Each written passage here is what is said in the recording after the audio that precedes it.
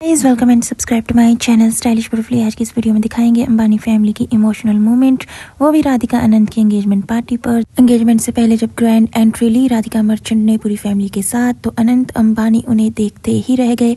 और स्टेज पर पहले अनंत अंबानी ने राधिका को हक किया। राधिका भी अपनी एंगेजमेंट से पहले हो गई थोड़ी इमोशनल क्योंकि इनकी लव स्टोरी एक रिश्ते में बनने वाली थी। और राधिका की एंगेजमेंट हो गई है और अनंत अंबानी बहुत ही ज़्यादा खुश थे और कंटिन्यूसली ही अपनी होने वाली वाइफ राधिका मर्चेंट के साथ रहे। और जो लोग नहीं जानते, उनको बता दें कि अनंत और राधिका बचपन के फ्रेंड्स थे। ये प्राइमरी स्कूल से ही फ्रेंड्स थे। लास्ट थ्री ईयर से ये एक दूसरे को कर रहे हैं डेट और अभी फाइनली इन्होंने डिसीज़न लिया है कि अभी ये जल्द ही शादी के बंधन में बंध जाएँगे। आपको बता दें, नीता अंबानी और मुकेश अंबानी अप्रैल में करेंगे शादी। अनंत और राधिका मर्चेंट की।